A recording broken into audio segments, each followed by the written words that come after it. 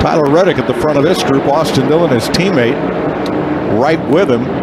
Then the Petty GMS. Whoa, GMS cars of Erik Jones and Ty Dillon. Just about wiped two RCR cars out right there. That's as close as it gets.